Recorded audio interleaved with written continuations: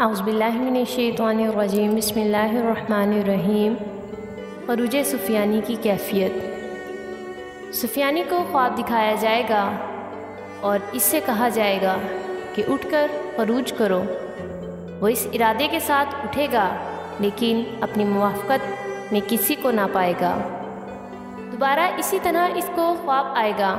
फिर तीसरी मरतबा इससे कहा जाएगा कि उठकर खरूज करो और देखो कि तुम्हारे घर के दरवाज़े पर कौन है। चुनाचा वो उठकर देखेगा तो इस मरतबा अपने घर के दरवाज़े पर सात या नौ अफराद को पाएगा। जिनके पास झंडे होंगे और वह इससे कहेंगे कि हम तुम्हारे साथी हैं। इसलिए तुम हमें अपना ही समझो और घबराने की कोई बात नहीं। चुनाचा वो इनके साथ खरूज करेगा। और वादिय याबस की बस्तियों में से कुछ लोग इसके ताबिया हो जाएँगे।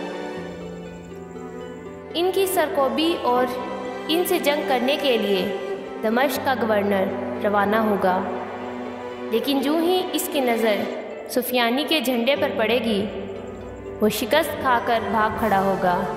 इन दिनों दमश का गवर्नर बनु अब्बास की तरफ़ से मुकर होगा। इस तरह एक रवायत में है कि सुफियानी बदतरीन बादशाह होगा कि उल्मा और को कत्ल करेगा और इनको फना के घाट उतार देगा।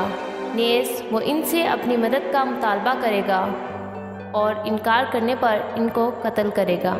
सुफियानी का नाम उतबा बिन हिंद होगा और ये अहले दमश्क के दरमियान खड़ा होकर कहेगा कि मैं तुम ही में से एक फ़र्द हूँ, मेरे दादा माविया बिन अभी सुफियान रज़ी तहो इससे पहले तुम्हारे वली रह चुके हैं। उन्होंने तुम्हारे साथ अच्छा सलूक किया और तुमने इनकी खूब अतात की।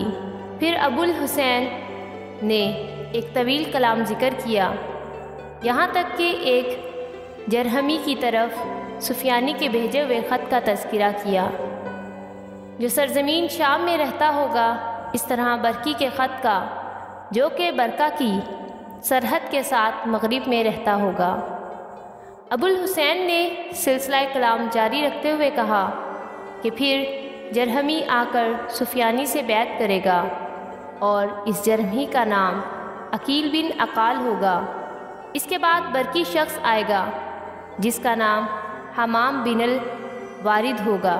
फिर अबुल हुसैन ने सुफियानी के मालिक सुफियानी के मुल्क मिसर जाने और वहाँ के बादशाह से जंग करने का तस्करा किया कि वो फरमा के पुल पर या इससे कुछ पीछे सात दिन तक बराबर इन लोगों को तहतेक करेगा। हती के अहले मिस्र के सत्तर हज़ार अफराद कत्ल हो जाएँगे। फिर अहले मिस्र थक हार कर इनसे सुलह कर लेंगे और इसकी बैत में दाखिल हो जाएँगे और सुफियानी शाम वापस आ जाएगा। अगर आज की वीडियो पसंद आए तो वीडियो को लाइक करें और चैनल को ज़रूर सब्सक्राइब करें।